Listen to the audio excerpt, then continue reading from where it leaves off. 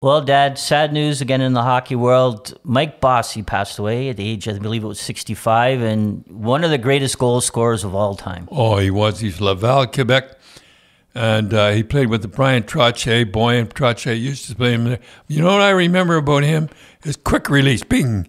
You just on a stick. You never, it wouldn't be on a stick. Toom. And, he, and you, you told a story about the time he was in Colorado. Right. I mean, I remember reading an Or he was yeah, I was reading an morning skate. Right. It was- I read an article one time that he said that one of the reasons he thinks his success for scoring goals was that he, he very rarely missed the net. That was his thing. And you know, like Matthews is second in the league for missed nets. And That's hard to believe. eh? right. So imagine if half of those were on net, he'd have about 80 goals. Well, yeah, but then he could say to you, yeah, but I used to pick the corners. Right. So And he did pick, he does pick the corners. So I remember I was uh, I I was at the practice from Colorado, and so it was a morning skate. So you guys were first. Colorado was first, and then uh, the Islanders came on. So they did their warm up, and I was watching them. And then Mike Bossy was the last guy off the ice, and he got about maybe about 15 pucks, and he put him in the corner, maybe about three or four feet from the goal line, and he had his back to the net, and he just would spin around and shoot the puck. Like he wouldn't just like turn around, spin around and shoot, spin around and shoot. He did that maybe probably shot hundred pucks. Sure enough, in the game that game that night, he got the puck in the same spot. He turned around and fired it and went short side on Hardy right over his shoulder. And so goes to show you, he was a goal scorer, but he he practiced and practiced. Well, as uh, I guess he went by the uh, the um, model of uh, Phil Esposito when he said the puck has, or the net hasn't moved in hundred years. Well, he did have a good centerman in Trottier, and Trottier used to put, put him in cold. But boy, when he got that puck, he gets the. Yeah, but just if you look at his record, like, of course, he was the you know most famous thing was he was the second guy to get 50 goals in 50 games. Yeah, after Rocket Richard. the Rocket.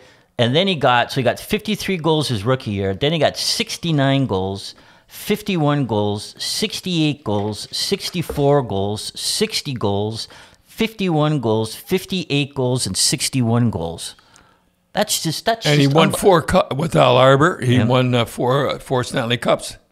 And Tim, And he- you were you were mentioning that it was being questioned about him how he would do. Would he really be that good in today's hockey? When some of the some reporters were questioning Yeah, that. I think he would I think he'd tear up this league now, don't you? Uh, he, he he would He'd try. love this he'd hockey. love. He'd, He'd love In it, fact, rather. this is the way he said hockey should be played. Right. And you know, you got like people go, well, you know, the goalies weren't good back as good back then. That's what they were saying.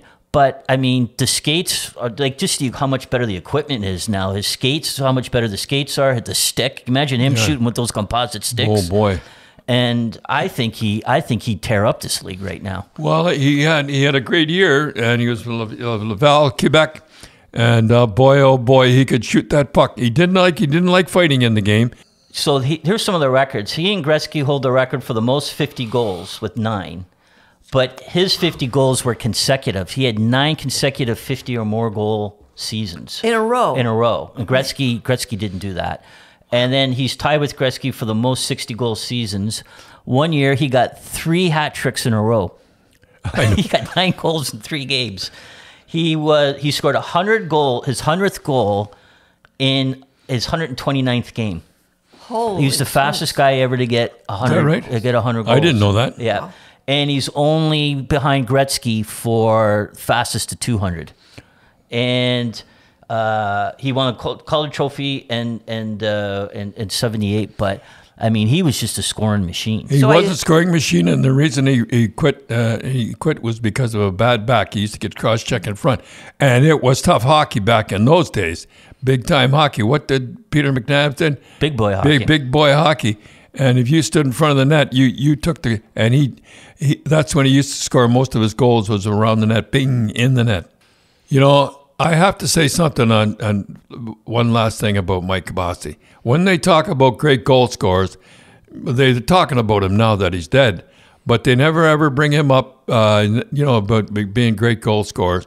And he was one of the greatest goal scorers I ever saw.